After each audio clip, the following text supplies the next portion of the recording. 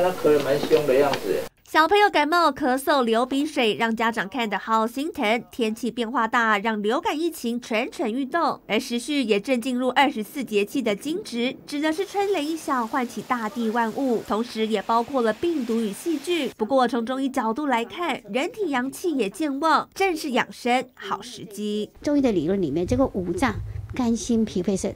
肝跟我们的春天是有对应的关系，就是吃一点比较我们叫绿色的植物，甚至有一些医书里面会讲，就是这个肌酸要少一点，因为酸太多的时候会让我们的肝气更什么更旺。中医认为春气与肝相通，因此精直的养生要点就是正肝气、养脾气，可以多吃点绿色蔬菜，加速排除身体的老旧废物，或泡点暖乎乎的养生茶，加入茵陈蒿能疏肝利胆，枸杞子则是滋养肝肾，而菊花可以清肝明。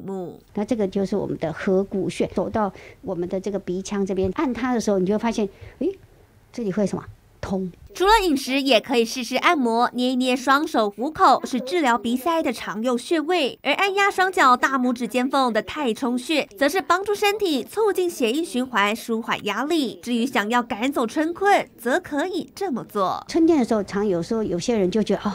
春困，那这个情况底下，我们就可以按一些百会穴。那百会穴双向的，你按压的时候，它会让你，比如说哦，睡醒哦，精神特别微密，你按一按它，哎，精神眼睛就亮。养生同时也要保持心情愉快，更别忘了多运动，把握精致节气，让自身的精气神像是春天一般生机盎然。每日新闻六，齐国南红台北采访报道。